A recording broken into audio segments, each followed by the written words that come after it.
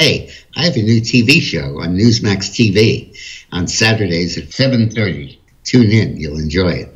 President Trump has in effect created a series of 50 Republican primaries, one in each state, that are basically the Trump primaries.